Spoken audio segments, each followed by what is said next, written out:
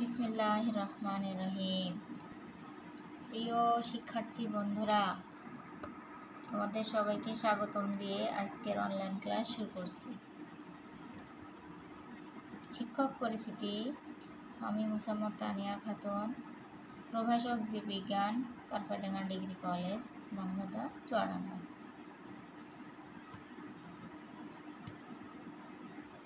চিত্রগুলি ভালোভাবে লক্ষ্য করো। এগুলো কিসের চিত্র?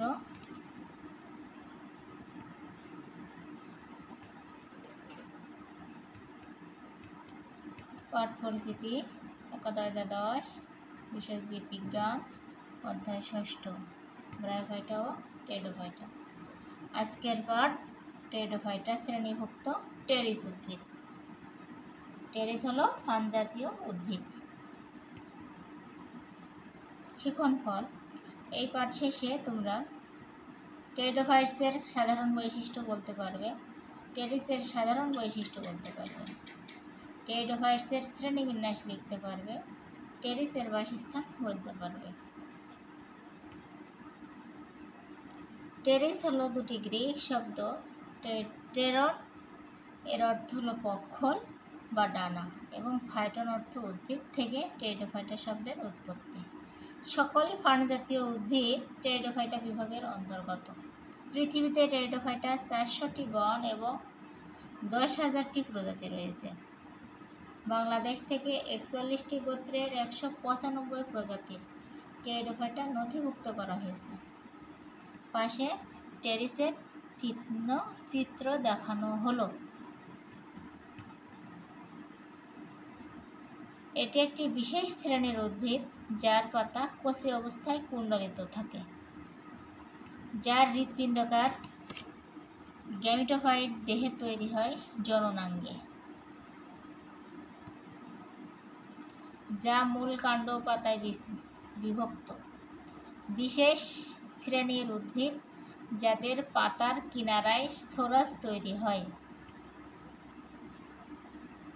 এক নজরে টেরিডোফাইটার বৈশিষ্ট্য বা টেরিসের বৈশিষ্ট্য। এরা দেখতে সবুজ। এরা সবুজই উদ্ভিদ। এরা অপুষ্পক ও বীজহীন উদ্ভিদ। এদের দেহ, মূল কাণ্ড ও পাতায় ভাগ করা যায়। এদের পাতাগুলো পক্ষল যৌগিক।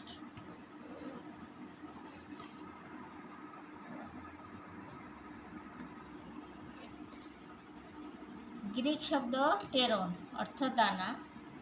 এবং ডানা এ থেকেই টেডোভার্স শব্দের উৎপত্তি। এরা অপুষ্পক উদ্ভিদের মধ্যে সব থেকে উন্নত। এরা অনেকটা নিম্ন ও উচ্চ বর্গের উদ্ভিদের যোগসূত্র হিসেবে পরিগণিত। পৃথিবীতে প্রায় চারশোটি গণ এবং দশ হাজার পাঁচশোটি প্রজাতি আছে। এর দেহে জাইলেম ও ক্লয়েম সমন্বয়ে গঠিত প্রকৃত পরিবহন তন্ত্র উপস্থিত বলে একে ভাস্কুলার ক্রিপ্টোগ্যামস বলে। আর এই বৈশিষ্ট্যের জন্যই এরা ব্রাইট ফায়ার্স থেকে শুষ্ক পরিবেশে জন্মানোর অধিক উপযোগী।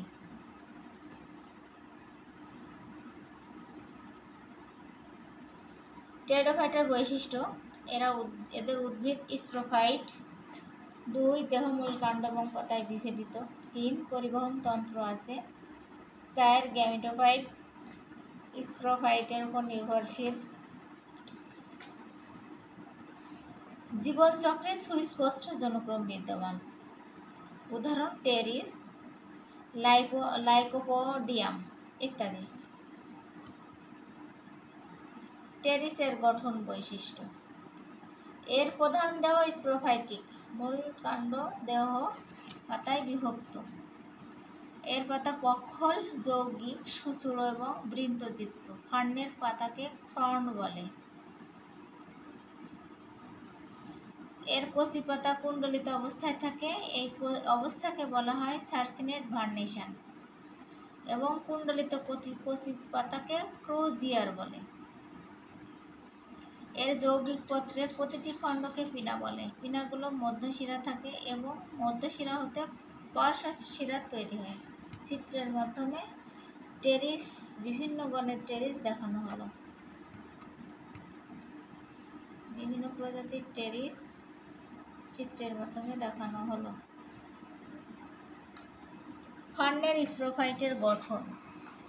একে মূল কাণ্ড পাতায় ভাগ করা যায়। এর কাণ্ড ছোট দিল সাইত এবং রাইবোজোমে রূপান্তরিত হয়। সম্পূর্ণ রাইজোম এক ধরনের বাদামি রোম স্বল্পপত্রে আবৃত থাকে, এদের রেমেন্টা বলে। এর নিম্নপৃষ্ঠ থেকে অস্থানিক মূল বের হয়, মূলগুলো সরু ও শাখান্বিত। রেমেন্টা চিত্রের মাধ্যমে দেখানো হলো। ফার্নের পাতাকে ফ্রন্ট বলে। এর পাতা পক্ষল যৌগিক। কচি পাতাকে বলা হয় সার্সিনেট ভার্নেশন। আর কুণ্ডলিত কচি পাতাকে ক্রোজিয়ার বলে। এর পরিণত পাতার নিম্নতলের কিনারায় সোরাস তৈরি হয়। এর যৌগিক পত্রের প্রতিটি খণ্ডকে পিনা বলে।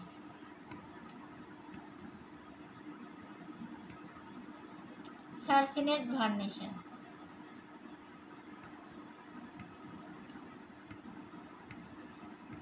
circinate vernation ramenta prothallus sorus বা সোরাই চিত্রের মাধ্যমে দেখানো হলো। শ্রেণীবিন্যাসগত অবস্থান। টেরিস, টেরিসের কিংডম প্লান্টিক ডিভিশন হচ্ছে Filicinophyta. Class ফিলিসিনি, order ফিলিসিনে Kallis family পলিপোডিক্যালিস C, genus teres.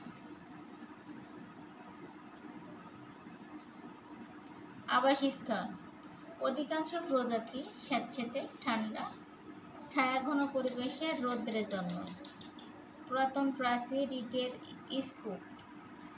ইটের স্তূপ বৃক্কের বাকল, ভেজা মাটি, দালান পরিত্যক্ত স্থানে দেখা যায়। সমতল ভূমি ও পার্বত্য অঞ্চলেও এরা জন্মায়। আবাসস্থল। ছকের মাধ্যমে, টেরিসের আবাসস্থল চিত্রের মাধ্যমে দেখানো হলো।